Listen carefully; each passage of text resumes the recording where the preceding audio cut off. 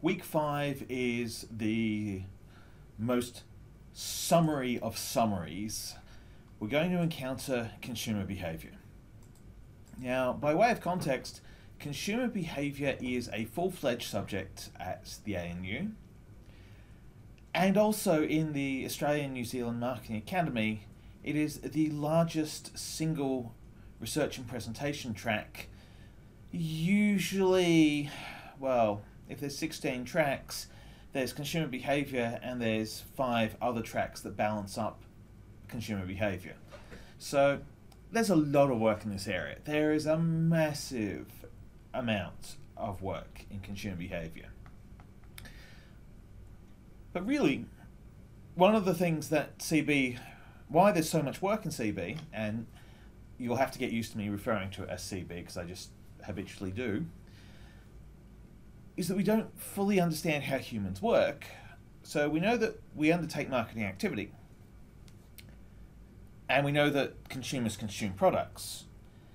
And periodically we have this moment of going, we think we know what causes A to C, but then correlation doesn't always equal causation, and causation itself wanders off doing its own thing on a regular basis.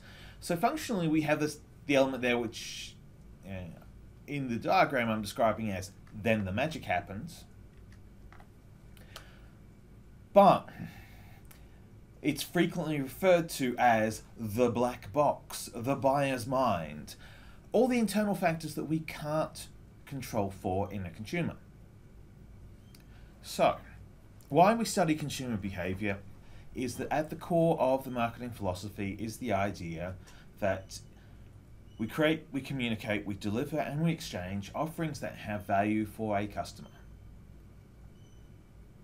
If we understand more about our customers, chances are we can create more things that are valuable or an offering that has greater value or greater opportunity to be valuable. Which is the challenge. And this is one of the things about understanding marketing is the more we know about someone, the creepier it gets as the point of an organization being able to second guess a living, breathing, thinking human through the use of spreadsheets, it's unnerving. But it's also the problem that we face is that we can't always predict the consumer. So we have the the fundamental three zones that we're looking at here. We have the external factors, the stimuli. We control the marketing mix. You'll see that the pestle makes its run. Then there's the consumer. Now we use a series of broad brush strokes of consumer characteristics to classify and hopefully predict aspects of behavior. We also have a theoretical framework in here, the decision making process, and that's one of the really rock solid foundational ways of us thinking about the process of how people go from I need it to I want it to I've bought it. And remember how marketing is a an activity, which is the stimulus and external factors, and it's a set of processes. When we're describing it as a process, we're describing an idealized state. If you're an economist, we call it, there's a bunch of assumptions and models in there. But basically, we can't perfectly predict, which is good. But we've got the next best, or we've got our current next best thing. So, Welcome to a very short guide to what is 12 weeks worth of content and even then that's a short guide, summary guide to a wonderfully expansive field of marketing's research. Also, spoiler alert, some of the ideas that we talk about here in intro, you will see again in consumer behavior, the subject that we offer here at the ANU. When you see them again, you'll see them in the context of the consumer behavior subject. So it's not a case of going, oh, learnt that in intro, boring. It's a case of going, right, that's where this fits in. So things you need to know. We know a lot, but one of the facets of our knowledge is that consumers' responses are conditioned by societal influence. what makes marketing harder than rocket science is the moon is still where we left it. You can use the same tech from the first moon landing, point roughly in the direction of the big rock up there, and you got good odds of getting to the moon.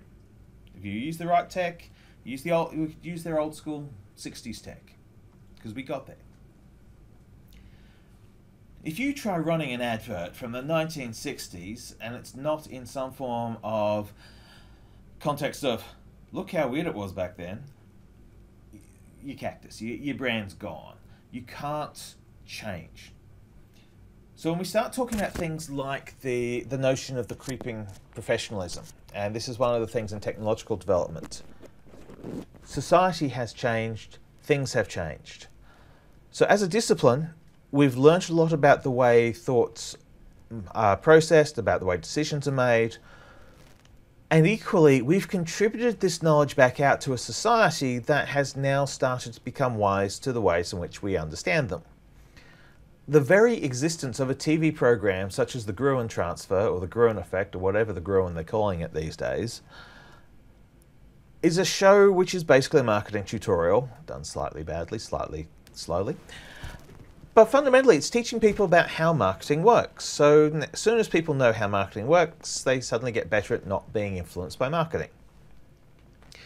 So one of the questions we always have, uh, a classic consumer behavior question is, why won't the consumer behave? Why won't someone respond to the stimuli the way we're expecting them to, particularly where they responded to that stimuli in a very similar manner previously. What is it that's made it different this time? On the consumer side, one of the things that's really unnerving is being second guessed by a spreadsheet. Now, there's a lot of that goes on on the internet, and I'm going to say that there's a whole bunch of things, particularly BuzzFeed, looking right at you. The pick 18 different desserts from this this cart, and we'll tell you your age being second guessed by a spreadsheet is unnerving, particularly when it's complicated. At the same time, more data does not equate to more insight. So we're hitting a problem in consumer behavior because the sheer volume of tracking that's being done is bringing us to statistical event horizons. That at a certain point, the data just starts becoming significant because there's just too much of it. The analysis breaks and stops working. And the last thing you need to know about consumer behavior is that it is the most meta-reflective experience you're going to have. You are currently consuming this video and the messages of this video are being processed through your decision-making framework, through your learning framework, through your knowledge framework. That is described in consumer behavior as you're learning about how it's being described in consumer behavior. The only way to make it more meta would be if you could step three feet back and to the left and be able to look over your own shoulder whilst you were doing this. You get used to it when you've been in consumer behavior research for a while, but along the way there will be points where you'll be like, this is uncomfortable because this is, yeah, I do that. I, that's a thing. So there's a couple of caveats that need to be put up. First and foremost is a lot of the marketing consumer behavior, uh, we have borrowed it from psychology and not always recent psychology. So if you're a psych student looking at this going, oh, that was discredited 20 years ago. Yeah, it's still working for us. Doesn't work for you, works for us.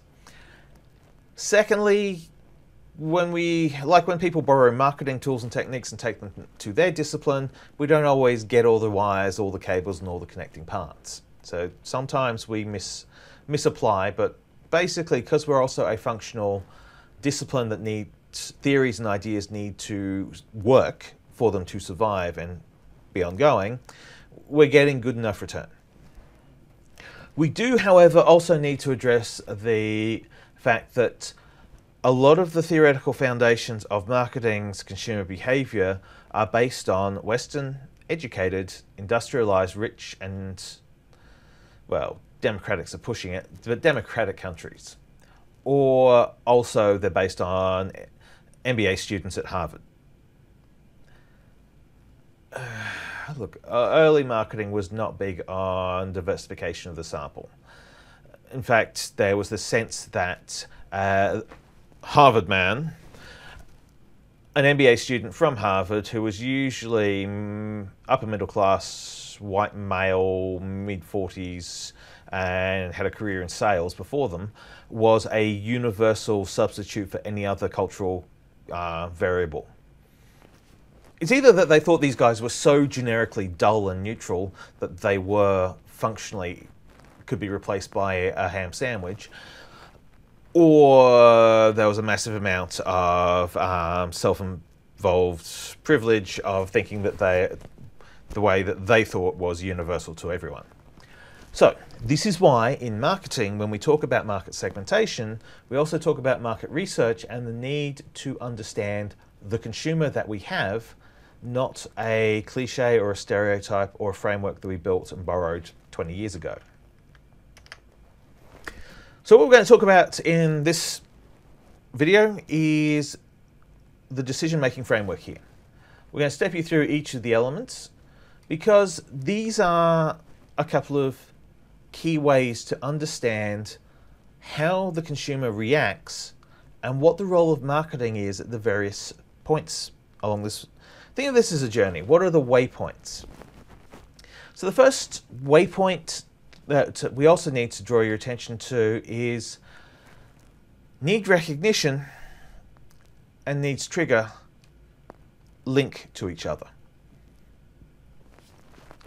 The consumer behavior decision process is an iterative, rolling, ongoing, cyclical process. Some steps get skipped, some steps get repeated multiple times. The consumer makes up their own mind their way. So let's start on the first step, the need recognition. And this is always, so needs, uh, this idea of there's a difference between the state that you're currently in your actual state, and a desired future state. The greater the gap, the more likely is that it will create a sense and recognition of there's a problem to be solved.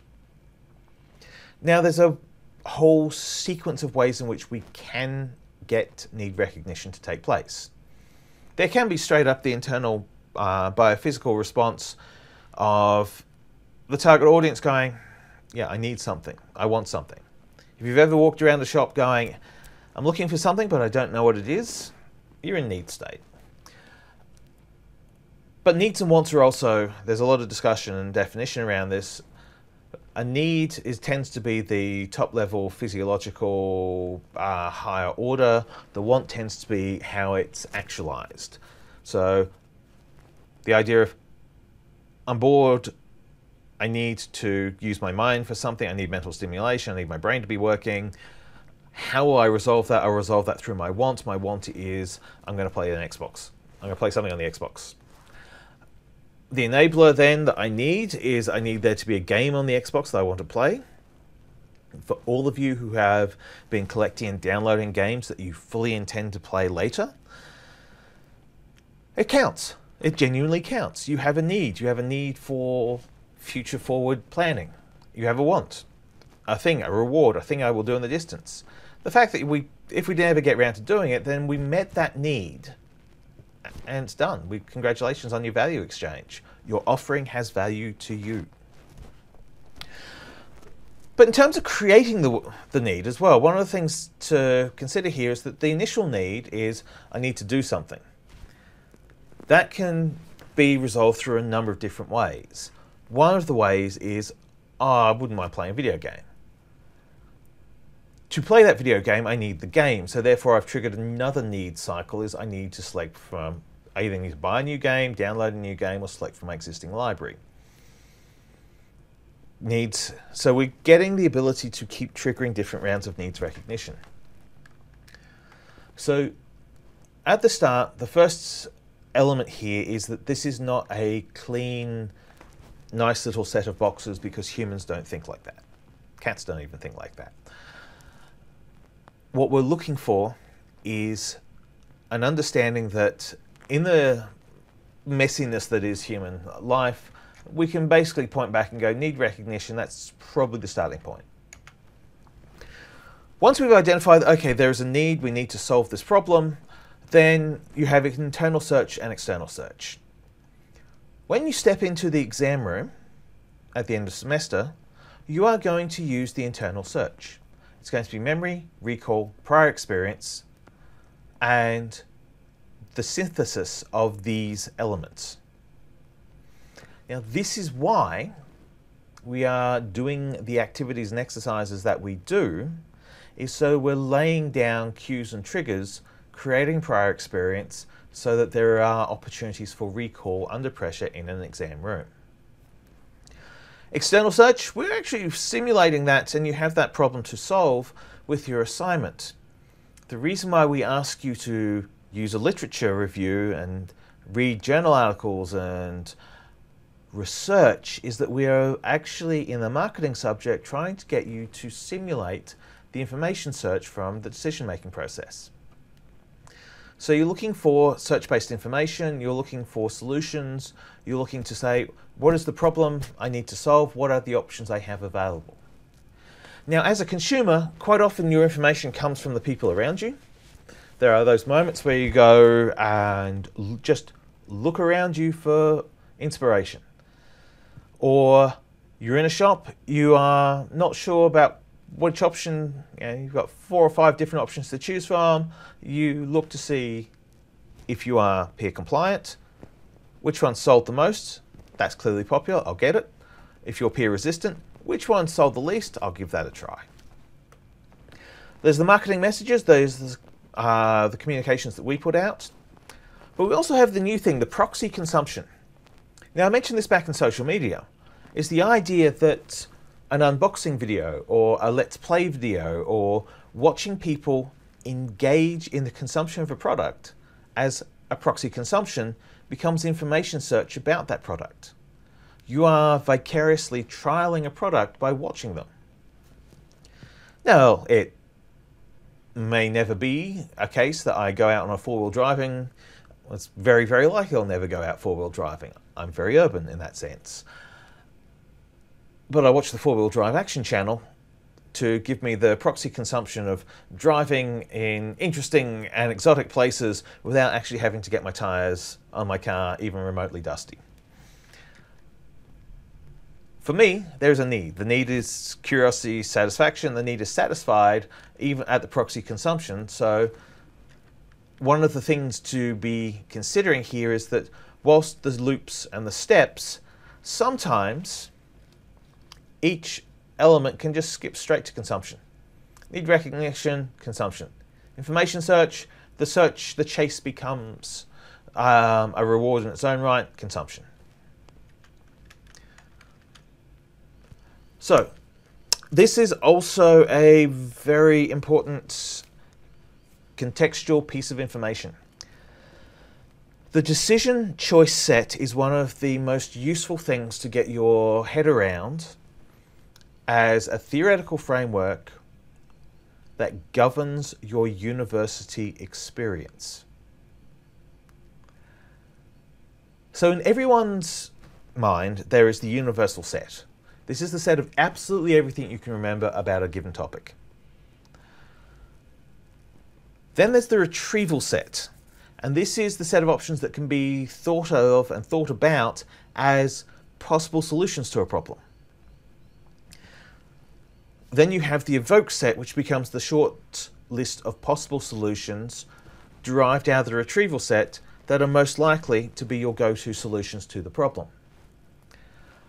When we are looking at something like the recall of information in an exam room environment, the questions are designed to trigger the evoked set. The retrieval set gives you more choices, but you need to filter out from those choices the most useful responses to be the evoke set. To maximize your ability to do this, we give you a range of different alternative information. We need to make it work and to be in your best benefit and your best opportunity to create value from the subject, we provide you with multiple different channels. A textbook, a video, a tutorial, a lecture, your own reading, and you're learning from the assessment tasks. This helps build the universal set. The broader your universal set is, the more likely it is that you have a retrieval set that's viable and contextual to your, your immediate problem you need to solve. For example, an exam question that says, give an example of, if you've engaged in a bunch of different activities and exercises, chances are you've had, you have some examples at your discretion, at your disposal. The evoke set, the reason we do our practice, our training and our drills, and we get you to do some trial exam questions early in semester, and we get you to do some presentations, we get you to discuss questions, we get you to talk, is that we're creating and rehearsing the evoked set. So that's using, one of the things about this is that you can use the theory of learning and you can use consumer behavior to your advantage to improve your university life. In the commercial marketing set of perspective, the universal set exists by all the brands that you know of. The retrieval set is when you have a problem, and I will say to you now, you need to pick up a couple of cans of drinks. You need to pick a dozen cans of drinks for your mates you got four or five people coming over, you need to pick up uh, two or three cans of drinks each. You will now be able to start thinking of an evoked set of possible brands, possible things. If I tell you which of you, if I give you some more specifics, like you know which mates are coming over, the evoked set will tie into, oh, I know they've got a brand preference. But if I just say, think of soft drinks, think of large bottles of soft drinks, you should be able to recall a number of brands a number of product options. That becomes retrieval and evoked. What happens in consumer behavior is that once you get to the evoke set, there will be a set of decision processes.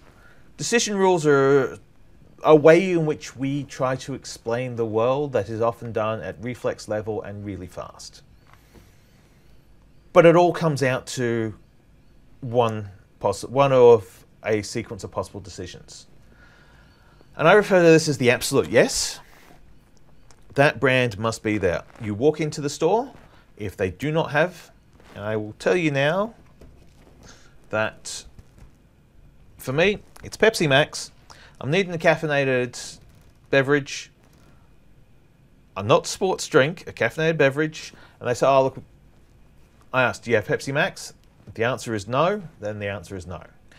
It's an absolute yes. It must be this brand and it must, so if it's in stock, I will buy it. If it's not in stock, I will not substitute. The contingent yes is there are other brands where I don't really, I'm not that fussed.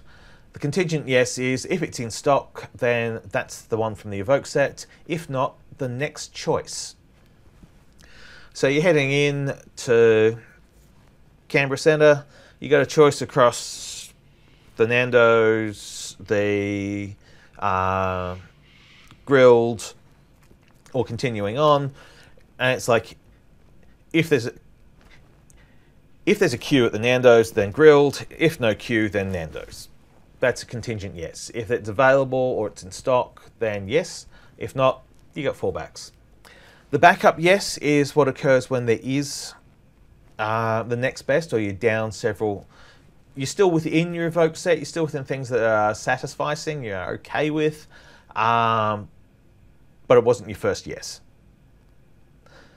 The maybe is a conditional purchase of I need it, I'm willing to live with it, I'm willing to trade off to because there's enough value, I will trade my way down to, I'll trade my expectations out.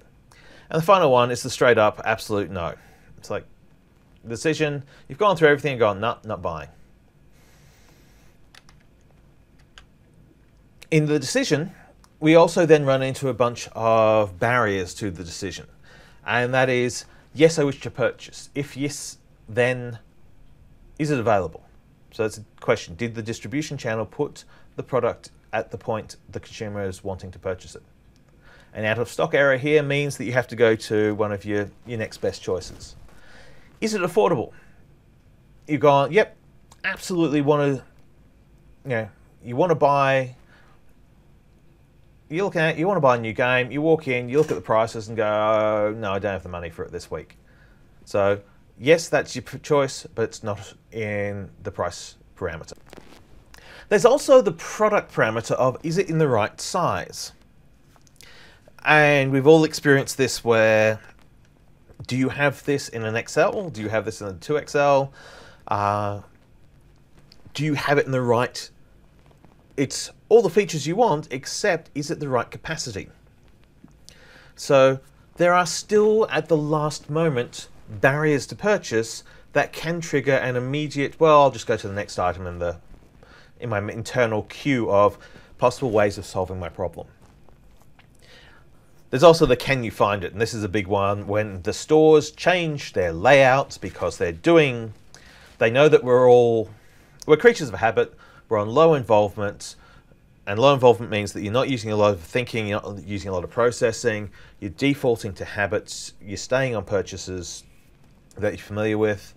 When the store layout changes, that forces you to pay attention, so it increases your processing, increases your level of involvement, and it's more likely for you to start reconsidering alternatives and reevaluating alternatives.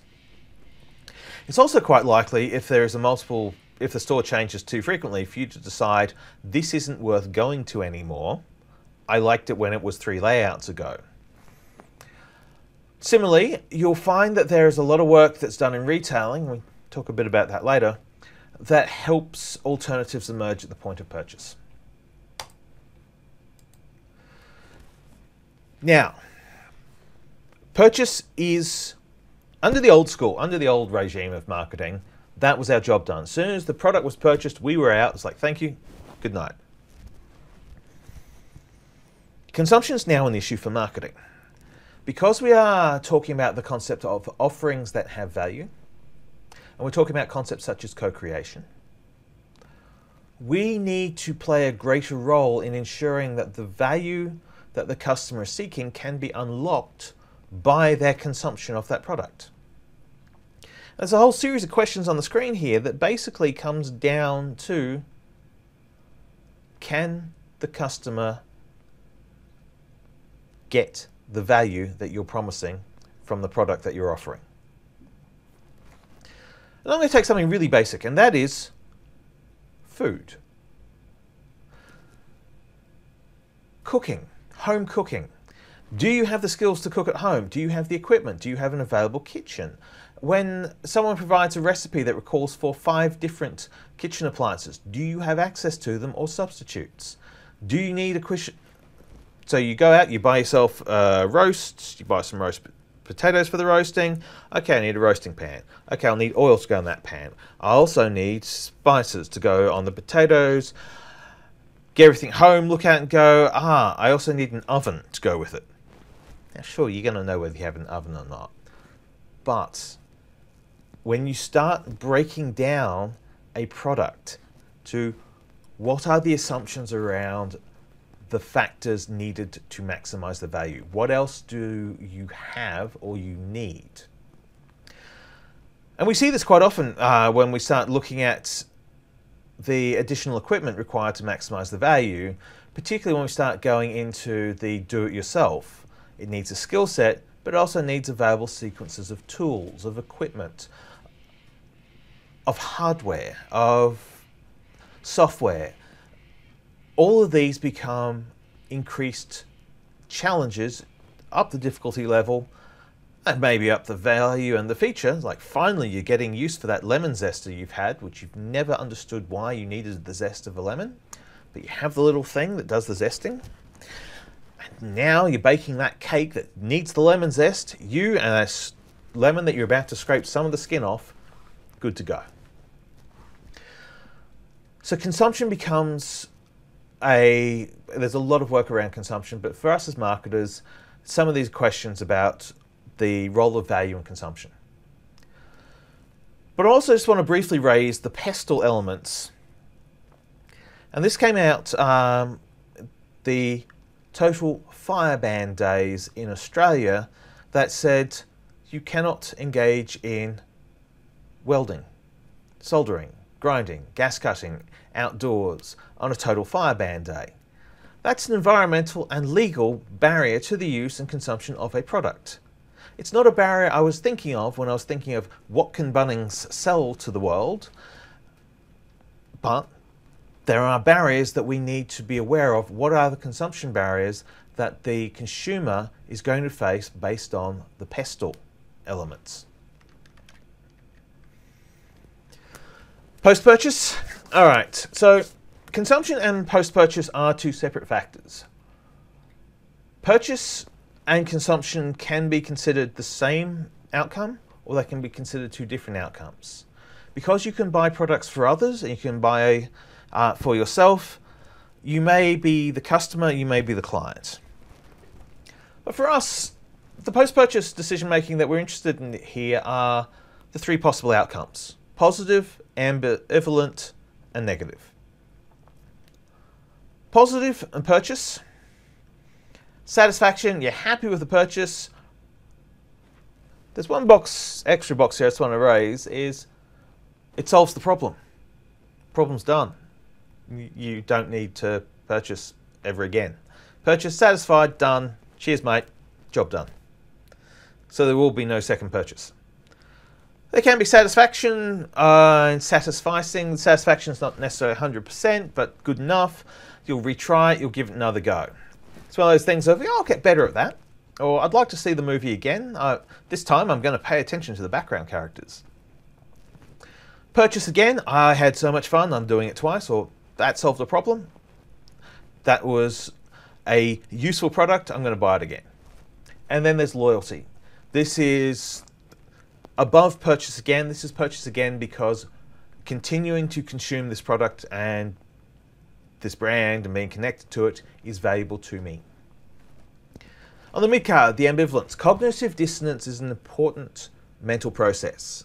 It's where you are having to resolve a difference in your head between what you expected and what the reality is, that there is a certain level of, I need to think about this, my satisfaction's not there. Now, if you try it again and it solves and becomes satisfying, on the back of a cognitive dissonance, you can also become increase, become more passionate, more powerfully connected to the brand than if it was just satisfaction first time because you've used higher involvement levels, because you've done a lot more thinking. The flip side is that if you're in cognitive dissonance and you decide against, you have a much stronger resistance and rejection of the product. So if you go in, you're like, ah, I'm really not sure about that. I'm not sure about that. Think about it. Think about it. No, I really didn't like it. You're very much in the didn't like it. And the third option is dissatisfaction. You've can see dissatisfaction loop back into retry and trial again, but functionally for us, for here, it's I didn't like it, not doing it again. So it's buy it, liked it, do it again, buy it, not sure, thought about it, buy it, didn't like it, not doing it again. so we're sort of broadly breaking down the post-purchase environment. Now, the disclaimer is that in consumer behavior, I've written a full text in this. I've taught it number of times in my career. There's a bunch of things I really like, and I just want to introduce you to some of my favorites. Search determinants, the locus of control. Now, locus of control, again, is another great theory for understanding yourself. The idea of an internal locus of control says that you are in control of your destiny. You are in, in command. An externally focused locus of control says what will happen will happen. That the master of your fates, the fates are master of you. It's a spectrum. It's not a, you're either internal or you're external. You're a moving point between these two elements. But if you are a believer in the external control and the world, how the world impacts on you will determine a variety of things, that's going, what happens will happen, means that you might be a little less risk prone in certain aspects, or a little more risk prone of, well, the gods will handle the gods will handle this for me. I don't need to take any safety or precautions because you know if it's going to happen, it'll happen. The second area of interest is the idea of the risk perception. Disclaimer, I did my honours thesis in risk perception. I really love this area. So the first thing to understand about risk is risk can be a cost for the acquisition of a product. risk can also be the benefit of the product. If something is dangerous, it can, like, that's a risk. A physical, I'm going to have a physical risk of harm by using this product.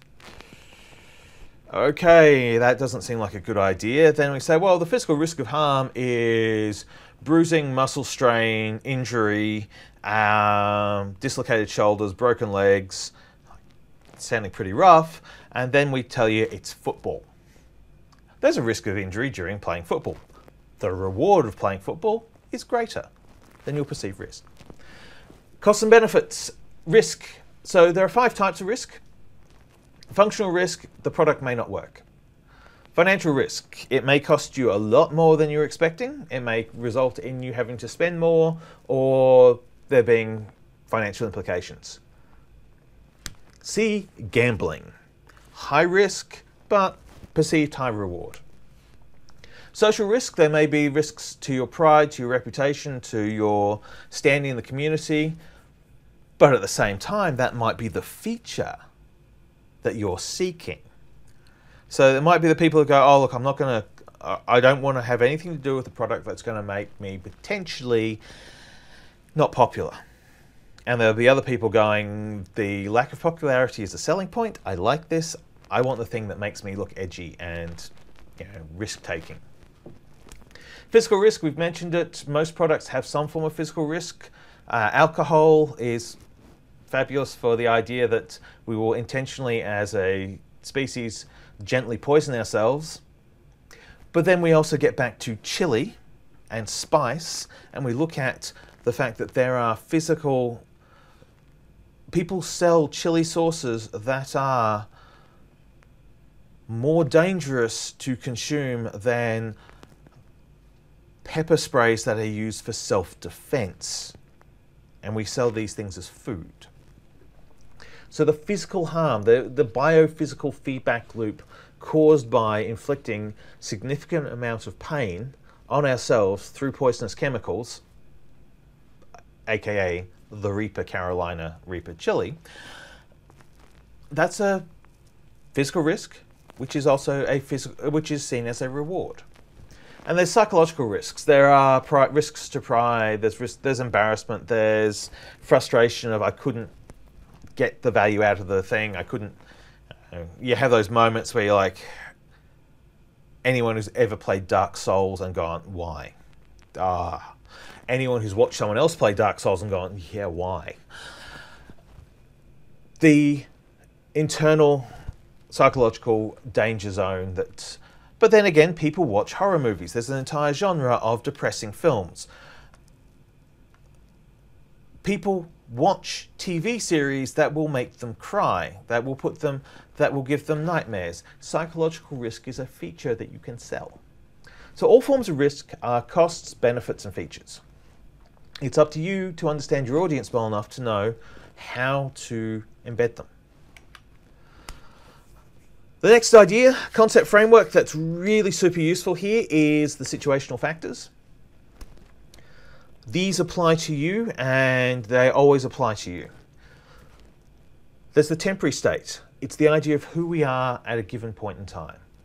Who you are now watching this video versus who you are in the classroom versus who you are on the way to the classroom versus who you are at work.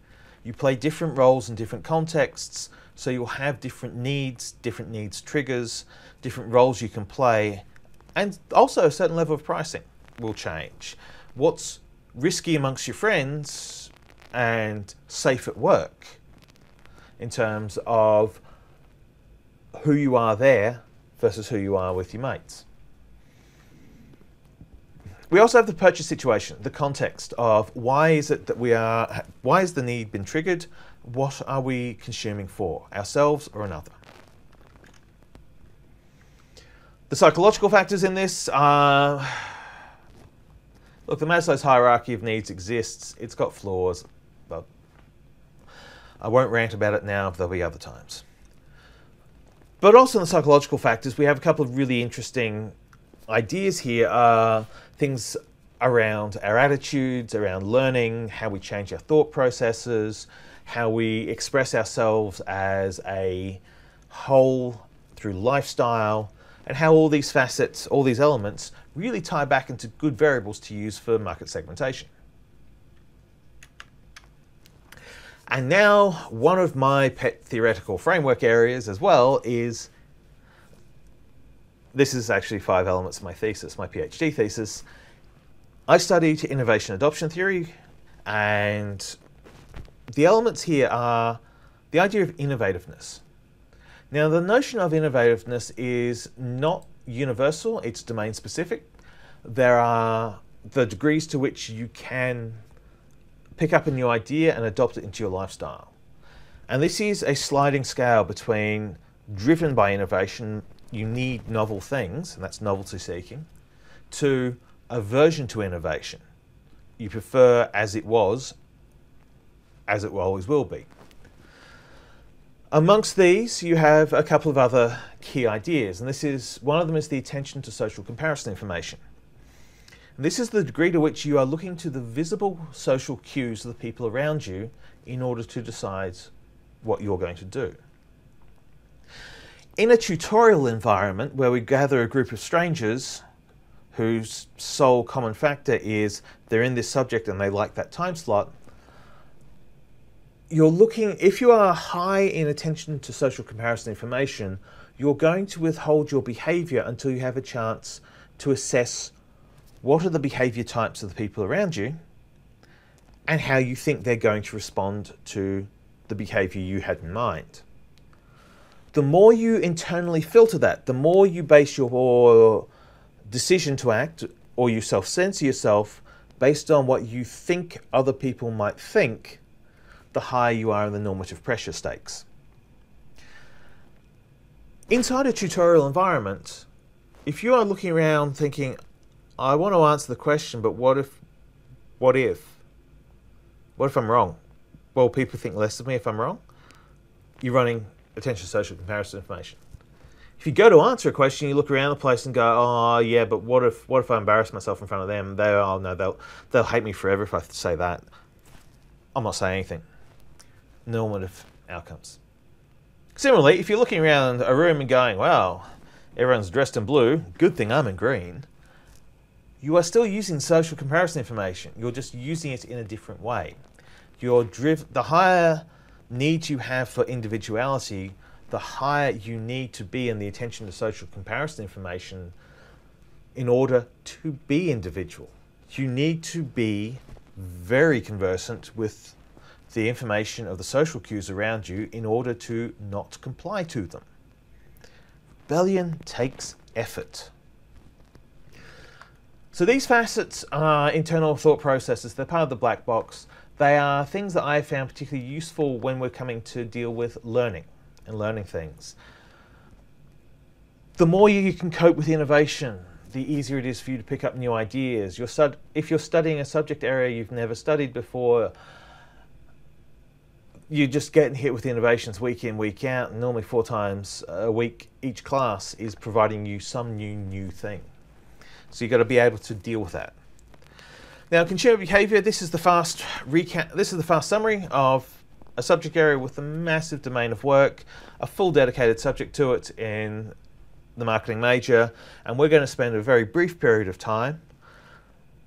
But what we want you to take out, one of the key things we want you to take out is elements of consumer behavior theory can be used as a platform to create your decision making frameworks and your analysis frameworks for segmentation, targeting, and positioning. The knowledge you gain here in this chapter can be used to understand yourself as a consumer and to understand the processes of the people you're targeting as a marketer. So it's worth embracing and embedding this knowledge a whole lot of it describes the processes you're going through in the study of this subject and the other subjects you're doing this semester. And there's a lot of stuff that if you look at it and say, hang on, I could apply this, I could learn this about myself, I could know myself better and use that knowledge to work to a strength, find out where my strengths are. If you are novelty seeking and innovation prone, then you make a good reviewer. If you are needing social comparison information before you purchase, you are a good follower but you're also going to absolutely love fashion. Fashion's going to be great for you because there's a pattern you can recognize and work with. All of them become strengths. It's all context, and that's the key thing about consumer behavior is understanding and learning those contexts.